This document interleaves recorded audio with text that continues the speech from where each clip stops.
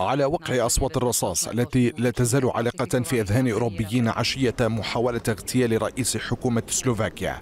وعلى صفيح ساخن تعيشها القارة العجوز يخوض أكثر من 450 مليون ناخب حق تصويت في 27 بلدا أوروبيا في انتخابات البرلمان الأوروبي والتي تعد ثاني أكبر انتخابات إقليمية في العالم بعد الهند. ليست سلوفاكيا وحدها التي تغلي في اليوم الأخير من انتخابات البرلمان لكنهم الملايين الذين يقفون في آخر 24 ساعة لتحديد مصير سياسة أوروبا الداخلية والخارجية مع العالم.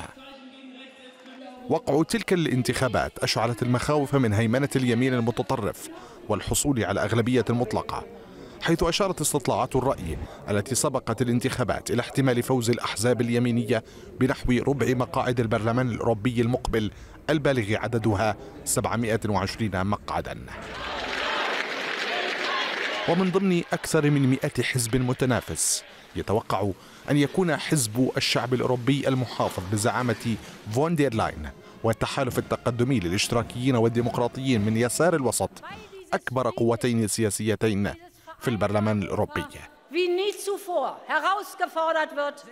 من بين أولى القرارات التي سيتخذها البرلمان الجديد انتخاب رئيس حاصل على الأغلبية المطلقة ثم انتخاب رئيس جديد للمفوضية الأوروبية أو قد يعيد انتخاب أورسولا فون دير لاين الرئيسة الحالية لولاية جديدة. فون دير لاين التي واجهت انتقادات بدعمها للإبادة الجماعية في غزة هي ذاتها حذرت من هيمنة اليمين المتطرف الذي قد يسهم بتدمير أوروبا على حد قولها. وتكمن خطورة اليمين المتطرف بحسب خبراء في سياسته دعم إسرائيل وموقفه من المهاجرين.